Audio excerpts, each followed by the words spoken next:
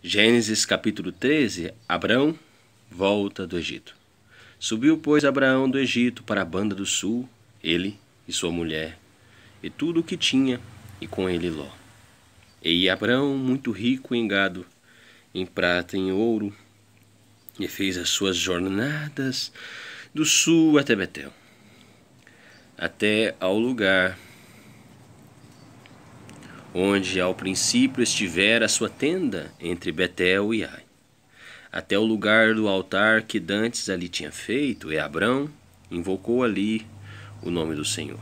E também Ló, que ia com Abrão, tinha rebanhos e vacas e tendas, e não tinha capacidade a terra para poder habitar juntos, porque a sua fazenda era muita, de maneira que não podiam habitar juntos.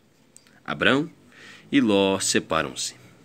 E houve contenda entre os pastores do gado de Abrão e os pastores do gado de Ló. E os cananeus e os perizeus habitavam então na terra.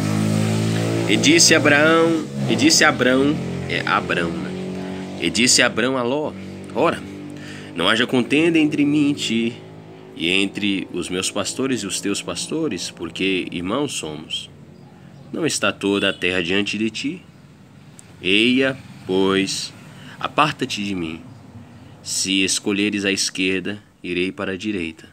E, se a direita escolheres, eu irei para a esquerda.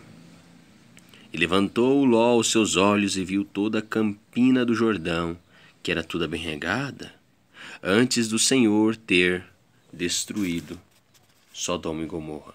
E era como o jardim do Senhor como a terra do Egito quando se entra em Zoar.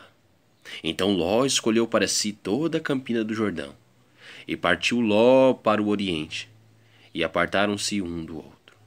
Habitou Abrão na terra de Canaã, e Ló habitou nas cidades da campina, e armou as suas tendas até Sodoma. Ora, eram maus os varãos de Sodoma e grandes pecadores contra o Senhor.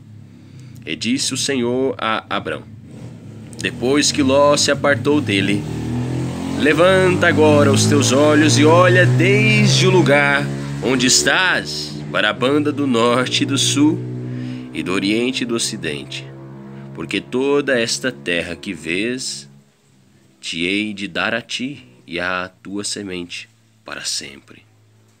E farei a tua semente como o pó da terra de maneira que, se alguém puder contar o pó da terra, também a tua semente será contada. Levanta-te, percorre essa terra, no seu comprimento e na sua largura, porque a ti a darei. E Abrão armou as suas tendas, e veio e habitou nos carvalhais de Manre, que estão junto a Hebron, e edificou ali um altar ao Senhor.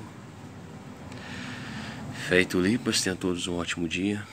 Em tudo dá graças. Deus é bom. Amém, amém, amém.